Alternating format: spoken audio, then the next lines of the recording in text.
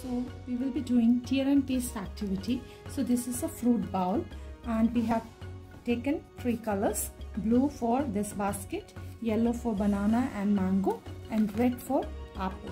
So what we have to do, we, we have to tear the page like this. This paper we will be using and we have to tear it. So small pieces we will be tearing it out like this. Same way we will be tearing other color it's to red. So for apple I am tearing this.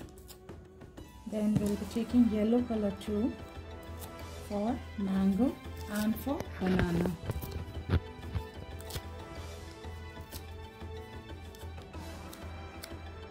So now I'm applying Fevicol on this. Now it's been done. Now I will be taking these pieces and I will be pasting it.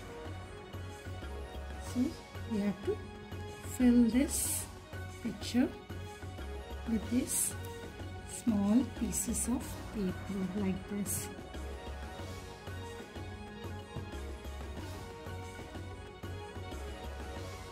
Now this portion is done. Now I will be doing apple. So I will be pasting red pieces. So I have applied Fevicol and now I will be pasting these pieces over this picture. So we will be filling the full picture like this.